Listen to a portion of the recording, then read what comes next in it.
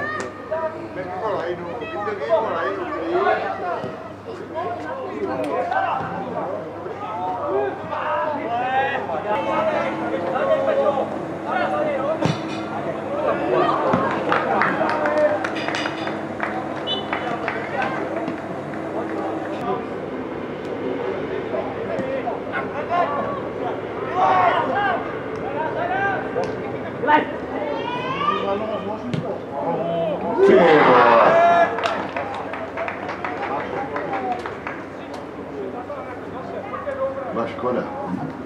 To je jediný, co tam mohlo spát.